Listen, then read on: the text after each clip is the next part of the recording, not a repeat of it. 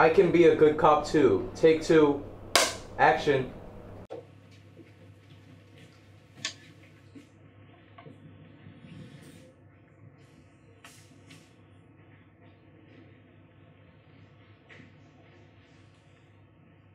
We've been there for a while. Yeah. Shouldn't take too long for him to sweat.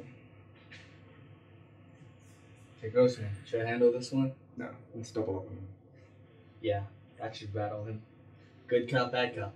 You bet. That's what we do best, right? Yeah, no one can touch us on that technique.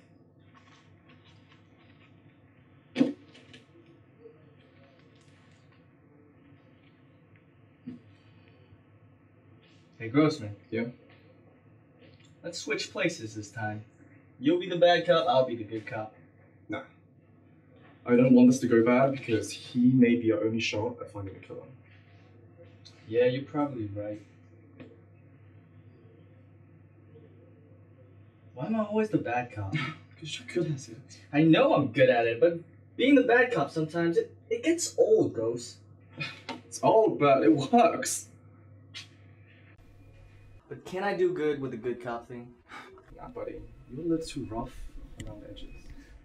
I can't be nice. I can't be nice, It's not just about being nice. I mean, the good cop, he has to lead, he has to manipulate. I mean, there's a delicate psychology to the process.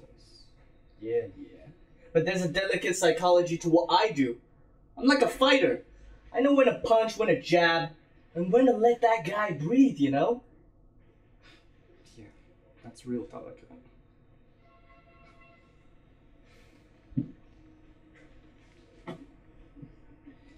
Maybe next time, Grossman. No way.